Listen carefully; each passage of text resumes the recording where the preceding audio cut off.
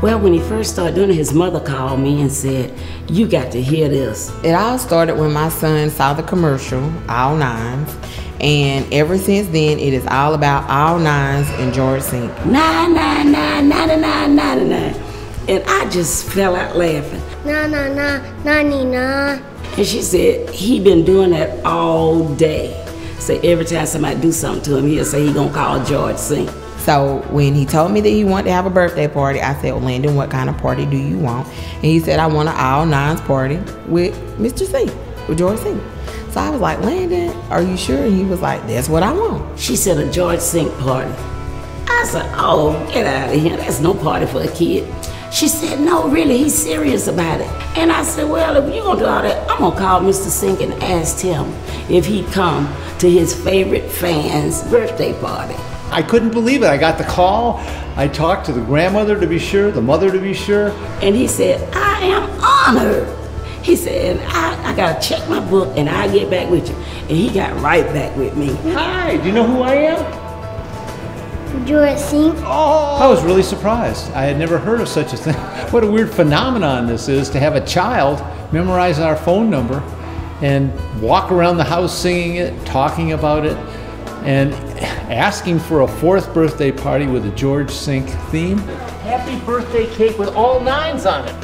It's you. Oh, it's me. Amazing. And I don't know how anybody can't be moved by that. So I certainly was. Very touching. Look at this. That's you. You. Yeah, it's me. Like if he gets in trouble, he said, Mom, I'm calling George Sink. Or somebody getting a wreck, he said, I'm calling George Sink. Nah, nah, nah, nah, nah, nah, nah. He said, I'm gonna call George Sink on you. I said, I didn't even do nothing. He said, I'm, I'm gonna call George Sink. He kept saying that over and over, so it got to be catchy with everybody.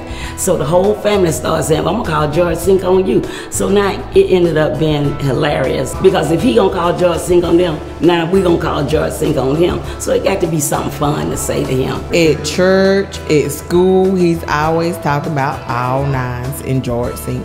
We can ride down the road, he sees the billboards. He be like, Mama, they're gonna miss the Sink.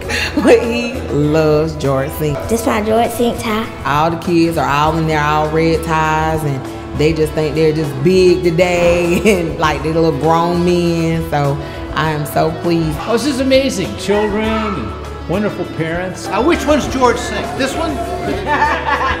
That's a beautiful tie you have. What do you like most, the candy or me?